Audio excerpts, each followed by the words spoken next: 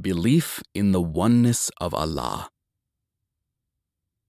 The first article of faith in Islam is the belief in the oneness of God. Faith begins with believing in Allah, the glorious, from which all other facets of faith spring.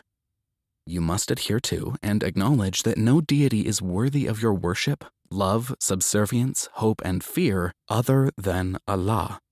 Nothing in existence is worthy of your ultimate loyalty and sacrifice, nor worth lowering your head in prostration or humility, except for Allah, the creator of all. Islam is monotheistic, believing that there is only one God and He is the only one worthy of worship. The idea of multiple gods is rejected in Islam, as is highlighted many times throughout the Quran. They have certainly disbelieved who say Allah is the third of three, and there is no God except one God. And if they do not desist from what they are saying, they will surely afflict the disbelievers among them a painful punishment. Quran, chapter 5, verse 73. The most severe sin in Islam is known as shirk, which translates to the concept of ascribing a partner to Allah the term also encompasses attributing divine qualities to any other beside Allah. Shirk is the only sin that God does not forgive if a person dies before repenting. The Christian belief that Jesus is the Son of God or God Himself is an example of shirk. The belief in the concept of the Trinity, the Father, Son, and Holy Spirit, is a grave sin in Islam. Allah states in the Holy Quran that on the day of judgment, Prophet Jesus, peace be upon him, will deny ever asking people to worship him instead of God or along with God.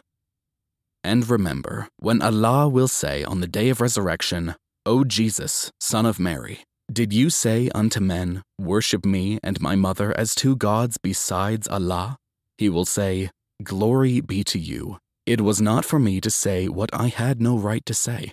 Had I said such a thing, you would surely have known it. You know what is in my inner self, though I do not know what is in yours. Truly, you, only you, are the all knower of all that is hidden and unseen. Quran chapter 5 verse 116. God is the one to whom worship is due. He is the creator, provider, and sustainer of everything. He is the supreme, the eternal. God has no father nor mother, no son nor daughter, no partner nor equal. He is all knowing, all seeing, all hearing, all powerful, and most merciful.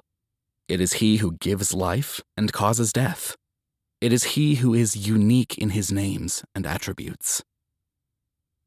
Everything in this world and everything it contains, the whole universe, including you and me, belong to the one God. We use the phrases my hand, my house, and my money, but it all belongs to God. To Allah belongs whatever is in the heavens and whatever is in the earth. Whether you show what is within yourselves or conceal it, Allah will bring you to account for it. Then he will forgive whom he wills and punish whom he wills. And Allah is over all things competent. Quran chapter 2 verse 284.